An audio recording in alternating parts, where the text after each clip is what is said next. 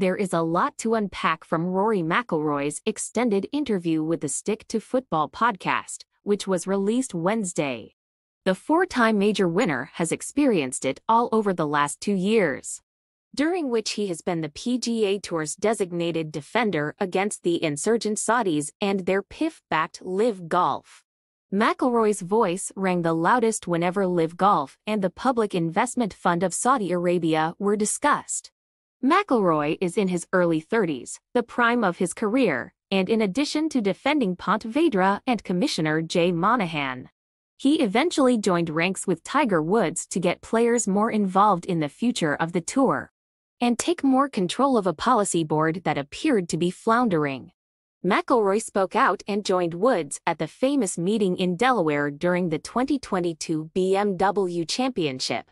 McIlroy, then a policy board member, pushed for change.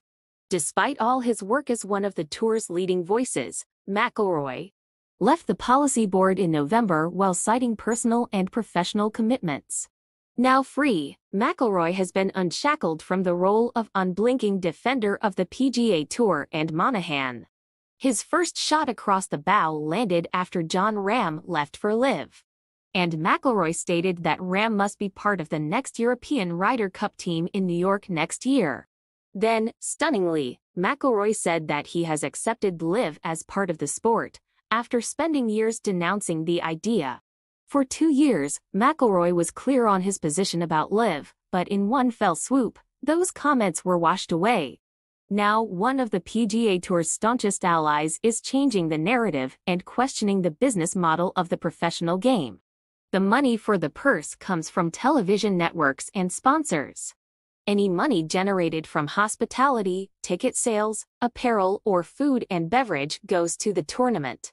And if any money is left after expenses, that goes to the charities involved with the event. But a new wrinkle in response to LIV Golf has the tour attempting to milk additional money out the tournament to cover their mismanagement of the purses. That additional fee can come from only two places, the bottom line or the money donated to the charities. Finally, someone understands the dilemma the tour finds itself in.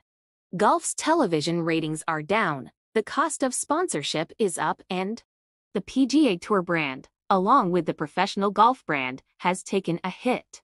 The sport is no longer the best place to park your sponsorship dollars if you are a major corporation.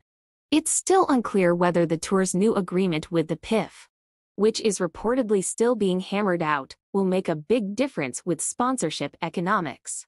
McIlroy has had a front row seat to most of what has occurred since the first LIV event in London. He didn't come right out and say that the PGA Tour is in trouble or that its future is uncertain. But ultimately what is needed is more enlightened guidance and potentially someone else steering the ship.